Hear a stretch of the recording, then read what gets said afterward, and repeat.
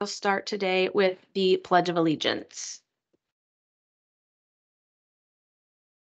Pledge allegiance to the flag of the United States of America and to the republic for which it stands, one nation, under God, indivisible, with liberty and justice for all. The first item on our agenda for today is a review of the minutes from our October eleventh um, board meeting. Any questions, notes, comments? From the board? I didn't see any. Nope. Okay. Any oh. questions, since Mr. Winkler was not here at the time? No, it looks good to me. Okay, I'll move to approve. Second it. all right. All those in favor say aye. Aye. Aye. All those opposed? All right, the minutes from the October eleventh meeting are approved. And moving on to our discussion and review today, the first item on our agenda is the Rosewick Corner Development seven eleven. If anybody's present, like to come forward.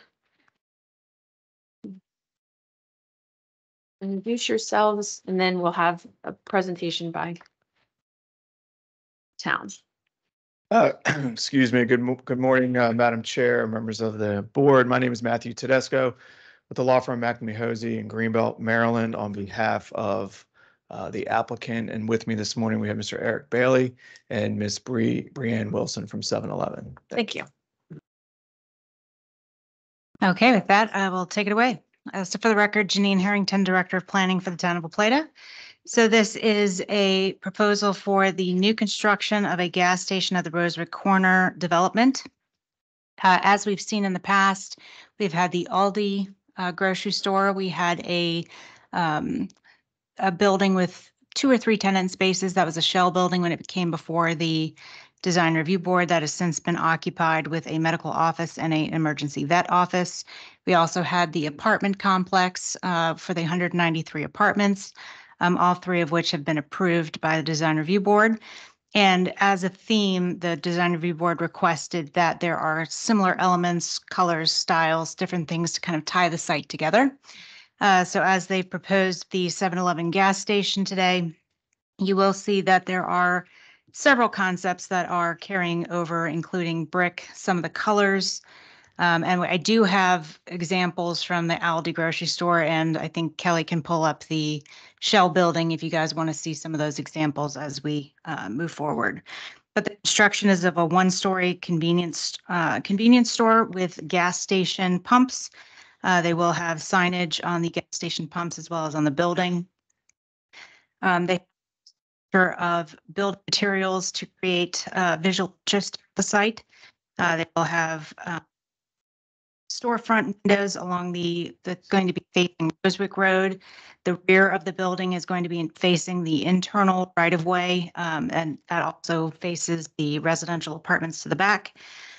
Um, And as far as staff has done the review, they do meet all of the minimum requirements for the design guidelines. The only stipulation that I posted the comment about recommending breaking the rear facades facing elevations, it will residential apartments.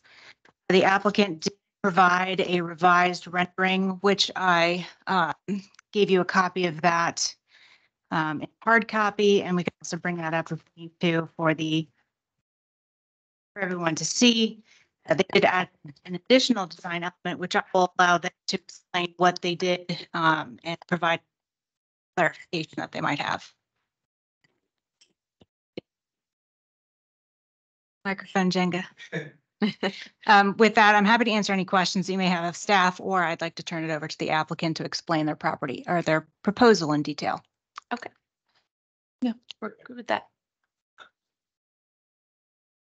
Um, Again, for the record, Matthew Tedesco on behalf of the applicant. Um, I did neglect, and I apologize in my introductions, uh, to mention that we do have our architect, Kiana Yuri from Core um, States online. She's on attending virtually with us this morning. So if there's any specific detail questions with respect to the architecture, um, Kiana is available virtually as well. Um, I want to thank um, Janine for her presentation as well as her review of this application. We've been working with the town for many, many, many years on this development. Um, as Janine mentioned, um, the Aldi is open and, and quite successful. We have uh, recently opened the veterinary uh, business uh, in the commercial building, and soon that will be occupied by a medical office um, to, to finish out that building. There remains one undeveloped pad. No prospective uh, users for that at this time. And then obviously, um, we mentioned the apartment building, a multifamily building that is, should hopefully deliver um, later this year. Um, with that, we turned our attention to this particular pad uh, site location, all of which have, has always been contemplated to be used as a gas station throughout the many years of this uh, application. Um, going back to 2021, the Planning Commission approved a major site plan uh, for the development that included this use uh, and development for this particular parcel. And then in December of December 7, 2021, an amendment was made to facilitate the multifamily that is uh, nearing completion. As far as this particular use at this location, we did uh, obtain a special exception approval uh, at the end of last year. That hearing was heard by the Board of Appeals for the town on December, on October 3rd, and that decision was approved on December 5th. So the use uh, is approved for this location. And at that time, all the, all the use requirements were vetted and discussed related to the special exception criteria and requirements.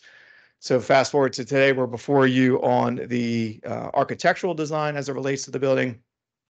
And as Janine mentioned, we have tried to incorporate common themes related to this, to the overall center for consistency um, to maintain and enhance the integrity and quality of the uh, commercial highway corridor. Um, As part of that process, facilitating, striving, striving to ensure aesthetic uh, compatibility uh, throughout the development.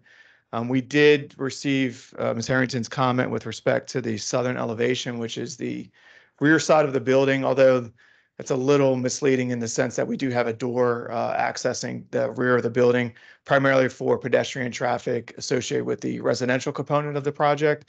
And so we do have signage above that door for those pedestrian um, residents and uh, customers. Uh, But but because that side of the building faced the, the multifamily, uh, Ms. Harrington and we agreed, thought that it was appropriate to revise that elevation to include more break, uh, a break of material. And you can see on what was handed out just this morning, we've provided, I don't know the exact dimensions, um, Kiana may be able to correct me, but it's about four, or four and a half feet of a brick uh, feature along the base, along with a, uh, a cap to separate that from the E EIFS material that makes up the rest of the building.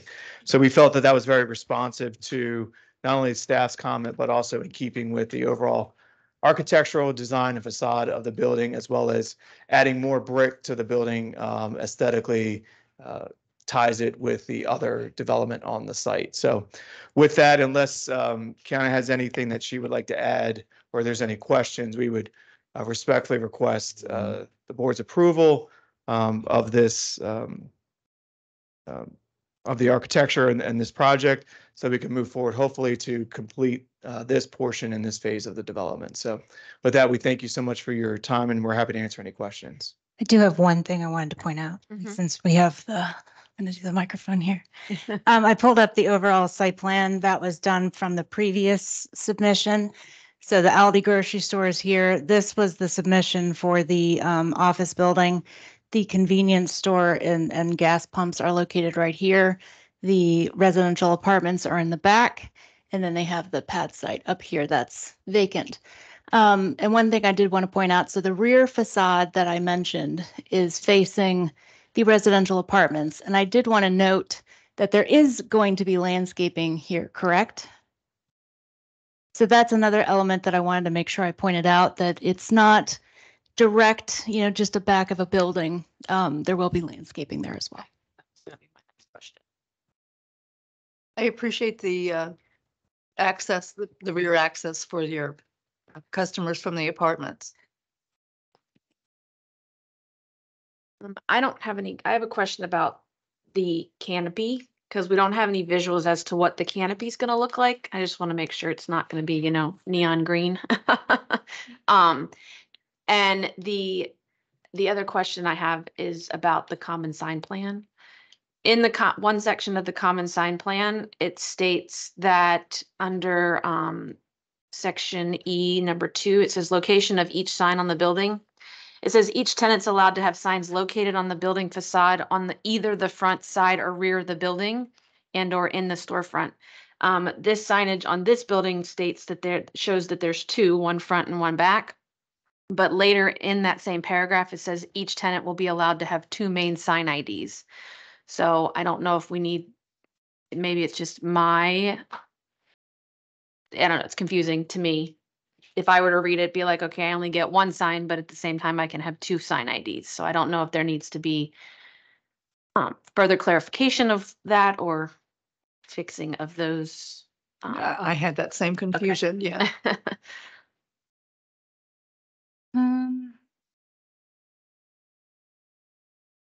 Those were my two questions. I don't have it in front of me. What, what was the, Um, it's section E, number two, location of each sign on the building. One says that they're allowed one, and then the other one, that later in the same paragraph, it says you're allowed to have two.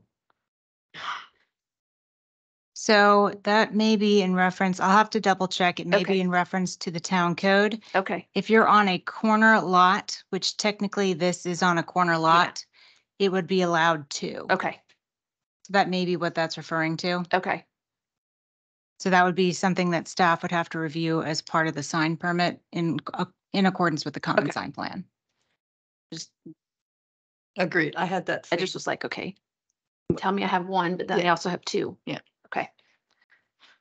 And then just the, I just want to make sure that the canopy, the fuel canopy colors are gonna be in coordination to what the rest of the building is, or, because we don't have any, there weren't any pictures.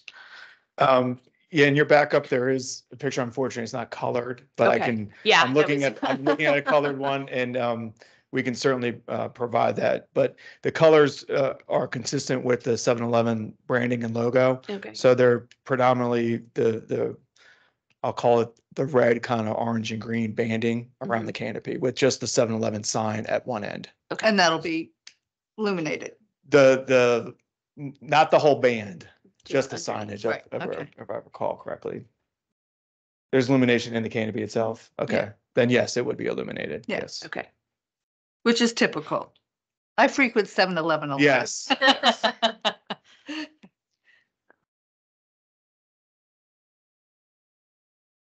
David's comments, he didn't have anything against, No. no questions about seven eleven, so.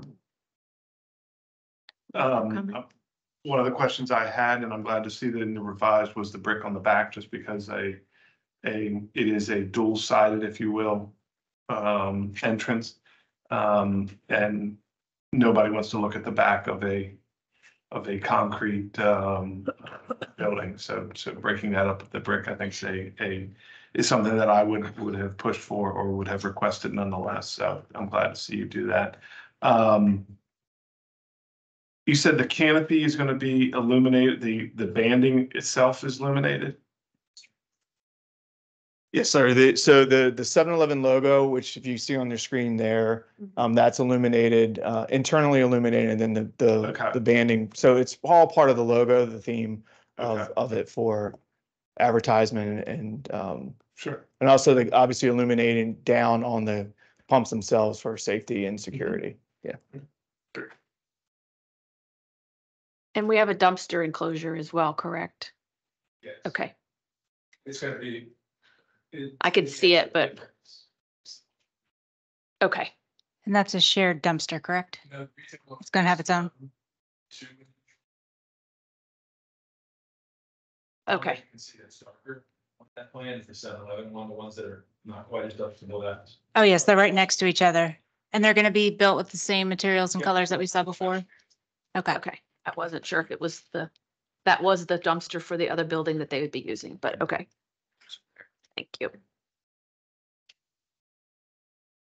Any other questions or comments?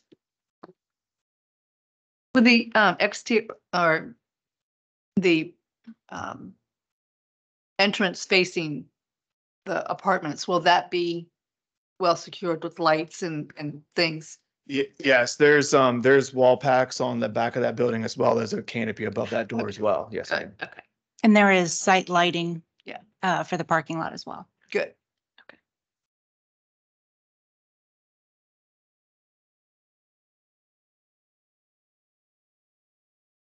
We have a motion.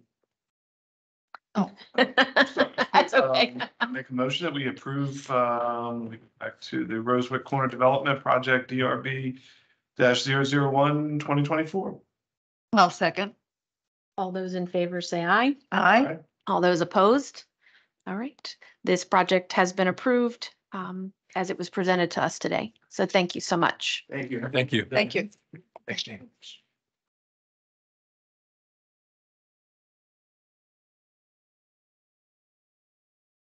Next item on our agenda for today is the uh, Oriole Lane Apartments. We have updated conceptual drawings and um, that are up for discussion. So, Come on forward.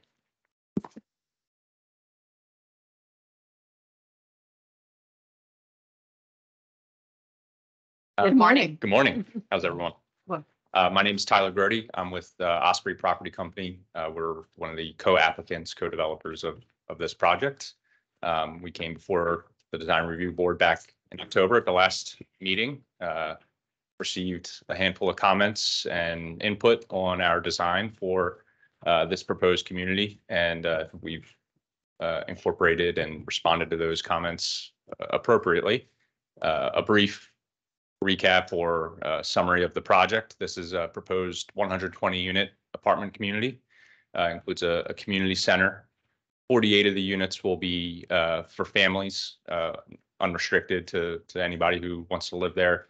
72, and that will be in two buildings. Uh, A third building is a 72 unit age restricted uh, building. We uh, came before the planning commission last year and received a special exception uh, to restrict that to 55 and over. So 72 of the units will be for 55 and older. Um, With me, I have Michael Blake uh, with Moseley Architects, who's our architect of record, and Stacy Lagana, who uh, is our civil engineer. Uh, And they can provide some input and uh, review of our, what we've done to the site plan to uh, revise the layout to accommodate those, those questions from last time, uh, as well as some of the design materials and, and facade and, and things like that. So. Okay. Hand it over to Janine if she wants to do that and then let them. Yeah, I, I don't really have too much to say. They, um, you know, the purpose was to address the previous comments for the design review, review board before they make an official submission for approval. Um, so they did revise the layout on the site as well as some of the color exterior uh, renderings uh, to try and address some of those comments. So from there, um, I'll turn it over if you have any specific questions or if you have, you need more information on any, any of those things. First, we would like to thank you for addressing some of our concerns and uh, specifically changing the location of the parking lot um, from being on Oriole Lane to being a little more interior so that the buildings um, overlook the main street, or at least the main street can see the building versus seeing another parking lot. So that was one of our biggest um, concerns. My question, one question is um, the streetscape along Oriole Lane.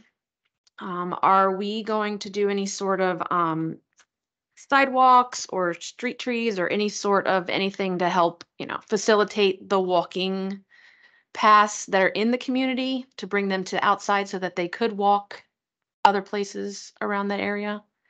Do you know? I just, I couldn't tell from the site plan. I don't see. a Yeah, sidewalk. Oriole Lane actually has a sidewalk. Is there a And we sidewalk? are gonna Okay. put some street trees there, Okay, so. okay.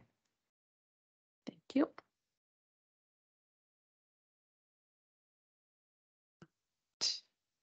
And I think the question I had, um, and I feel a little disoriented, so correct me if I'm not looking at it properly. The, um, from the first color rendering that you have, those, uh, that face is facing the green space. Are those, are those, um, the senior apartments? So I, I if think you, that's- you want me to speak, so the, the arrow you have up there is actually Oriole Lane is in the far distance behind the building that's in the rear. Mhm. That is the senior building, Okay. okay? And then the, um, the smaller building in the foreground is the community center. And then the two buildings on the left-hand side are the family, yeah. So that, the, um, they, all, all the buildings kind of look out onto an open Right. green area. Mhm. I think our comments were mostly about old people, Yeah. um, just kind of sitting on their balconies and watching the kids play in the, Yeah. the playground area.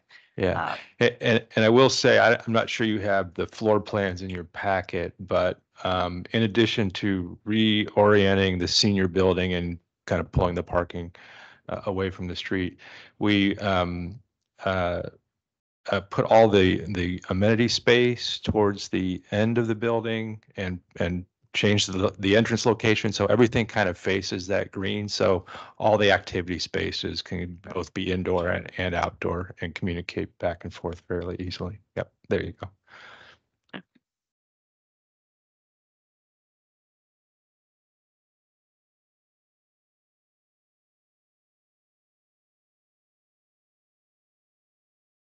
And, and again, my concern was just for seniors. I don't know if they'll have, you know, small pets allowed or whatever, but if grandma's walking her dog, you know, Mhm. to have to go a long way around.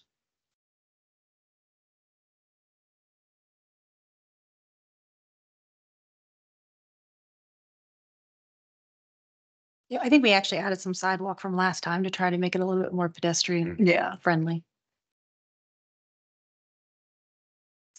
Another, another one of my major, I don't know, if I lived on the ground floor of this building and just looking at the color renderings with all the HVAC units on the ground floor outside that one set of windows, um, like, I just don't know if there's, we can put them elsewhere on the roof or something along that lines, because I just, like, looking at that, I'm like, I don't want to sit on my balcony and overlook eighteen HVAC units. Um, even though you've done a great job at hiding them from the street side, I just don't know about the, um, the people who've actually paid to living there wanting to Right. see HVAC out their bedroom window. Yeah, so uh, y- this is a good view. Yeah. You can see we've aggregated them away from the outdoor balconies, so at least the outdoor spaces don't have them imme- immediately below. We have used this strategy in other uh, similar senior um, uh, building communities, and it has been successful. Um, So, you know, we do have some uh, precedent for that. just more of a curiosity. Um, the split between fifty-five and, you know, restricted and unrestricted. And this may be for Director Harrington more, is, is this, um, complex, is it, is it? Is, is that breakdown of, of restricted to unrestricted, is it, is that hinging on the approval process? In other words, does it all have to be fifty-five or does it? it, and here's my concern is that if you're fifty-five or fifty-seven and you're in an apartment and then the building next to you is twenty-something, you know, at nine o'clock at night on a Friday is a little bit different um, uh, for a fifty-five and a twenty-five-year-old. And I've seen buildings where that presents challenges. Mhm. Is, is in other words, is the only, is this approval process based on the fact that we have, they have to have the fifty-five community? Because what I don't want to see happen is when it doesn't work out, we're right back here and they say, oh, no, we're, we're taking this all to twenty-five-year-olds. No, so th- that's, they had to do the special exception approval in order to get fifty-five and older placed on the buildings. Um, so in our comprehensive plan, it does talk about providing, uh, different types of housing and different types of environments for senior, uh, residents. Um, and it also talks about incorporating more mixed use, um, to kind of gather more, um, you know, different types of people into, into areas. So that's part of where that comes from. And to be honest, a part of the age restricted is to not require school seat allocations. Um, it, it has a reduced impact on water and sewer and, and there's several factors in that. Um, so economically, you know, it may make sense to have some of the, the buildings as senior and some as market rate um, with regular um, occupancy to kind of offset some of those costs. And it does provide benefits all the way around. Um, I think that's also why they chose to separate them out into separate buildings. And there is a decent amount of space in between the senior Um, so where the, I'm gonna steal your paper. Um, but there is a, a significant difference. This building is the senior building and all of these over here are the regular. So there really shouldn't be too much of a, you know, noise impact or, you know, really uh, impact on the senior living side. And Uh, you don't want to have the seniors so far away from the parties that we can't get I'm gonna say, you may have some that are joining the, the twenty-five year olds. you know.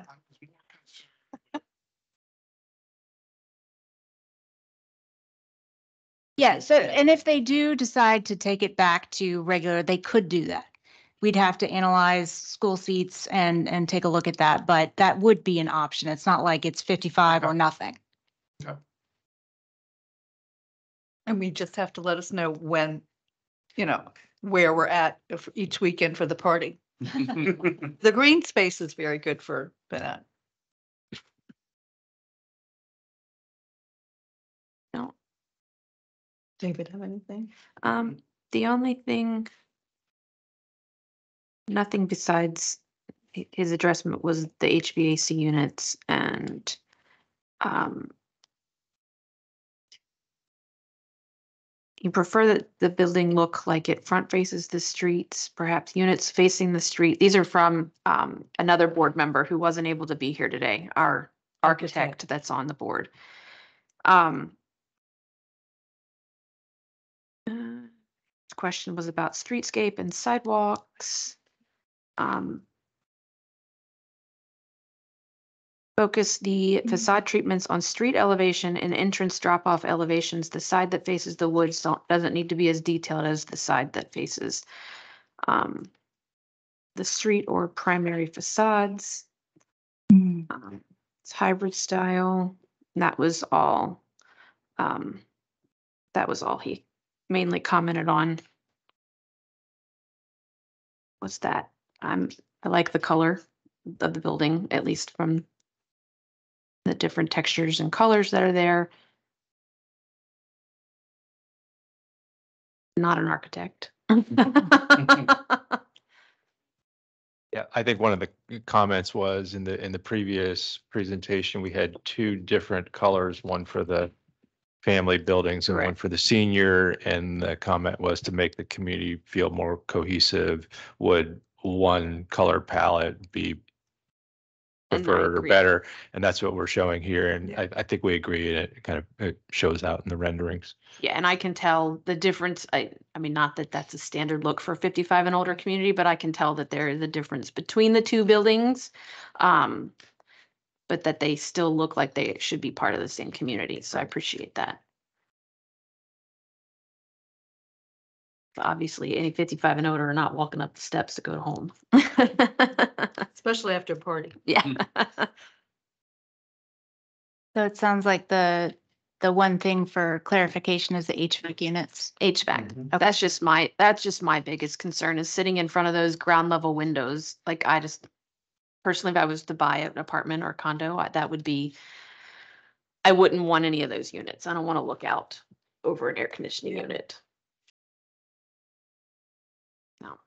That was, that's my, that was my big thing. And that we are going to have sidewalks, so. And some trees. Yeah, and I think Mr. Hancock had the, I mean, uh, yeah. Had the same, David had. the same. Yes, David, it was HVAC was the Yeah. big, Yeah, that, that's a good view of the senior building.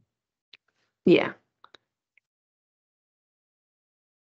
Doesn't look too institutional. No, no. Well. Other than that, that's all the comment that I had was for, for that as well.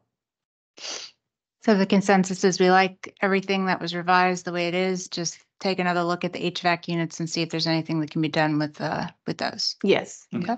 Although where they're, the way they are hidden is very. it's nice. very nice, but I would prefer not to see them at all. And hear, I mean, and hear the roar when they go on. Yeah. But otherwise, the reorienting the parking lot is much better than what it was, and the cohesive colors between all the buildings is Mm. much better Because at least now coming down Oriole Lane, it looks like a community, not like a business Mhm. building Mhm. with ma- major parking lot in the front. I agree. That's all that we All right. have. Thank you so much. I appreciate you Yep, taking our comments into consideration thank you. and look forward to seeing you with the final plan. Great. Thank You're welcome. Thank you so much.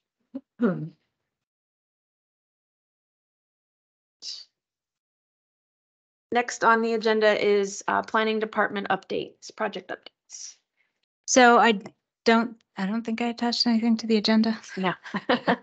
Um, it's been a whirlwind. Uh, we're a little short staffed, so I'm working on my budget and, uh, working on code updates and, and water appropriations and a lot of different things. So we've got, uh, quite a bit going on.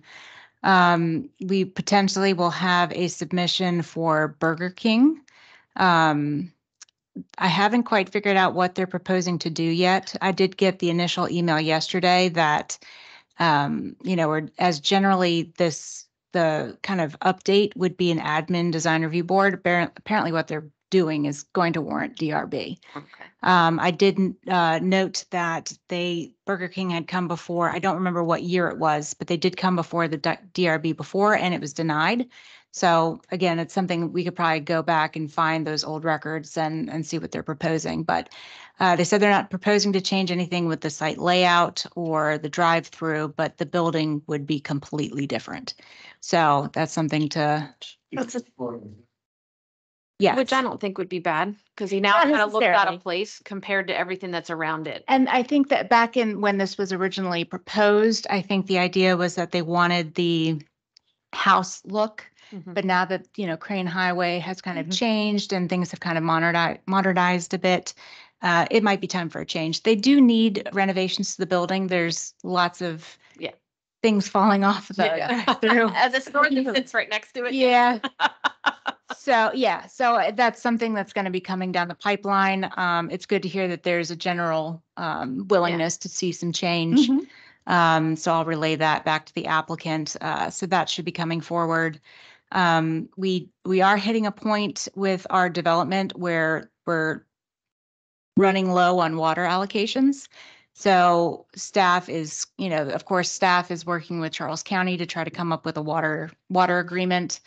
Um, I'm sorry, I missed that conversation last night, but, um, Must have been a good one. I'm sure it was.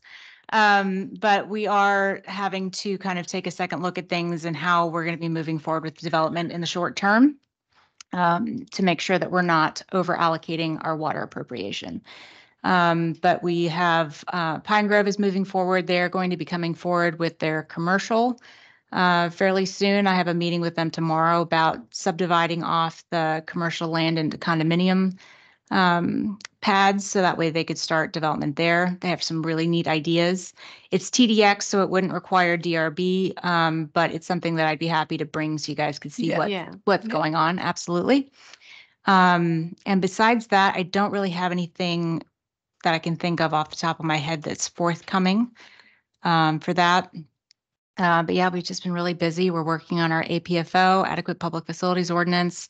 Uh, we're going to be looking at our subdivision ordinance, our zoning ordinance, our streets and sidewalks chapter, our water and sewer chapter, our health and sanitation chapter.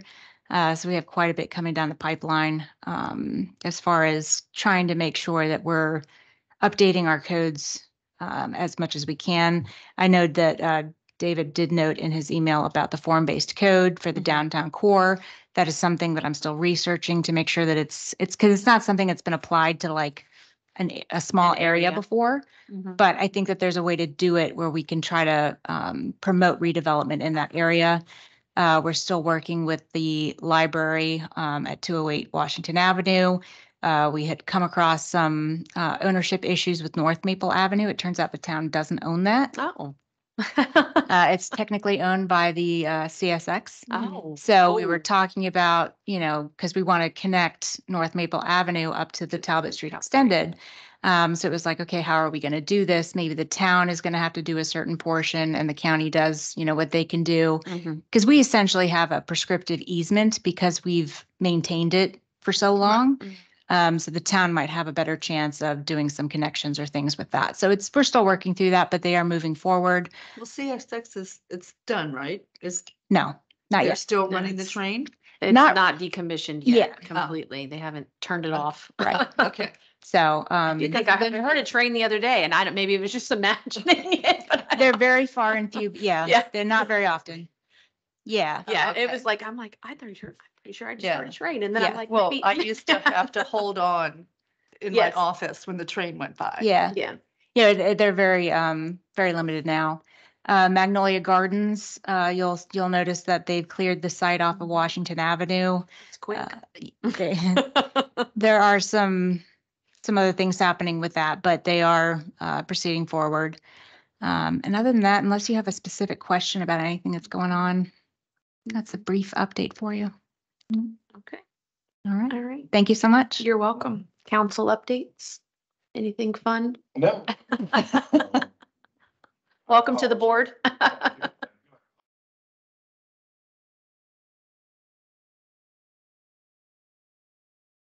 Right. hmm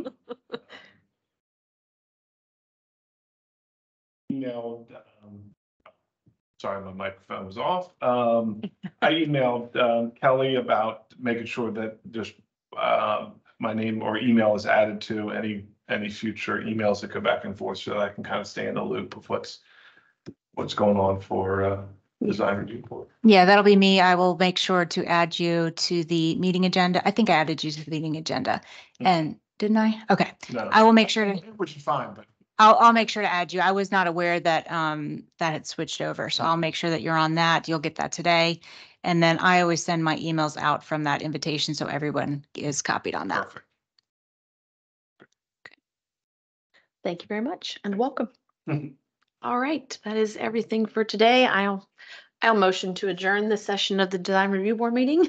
Oh, second. All those in favor, say aye. Aye. Aye. And all those opposed? Nobody. Thank you. This meeting has been adjourned.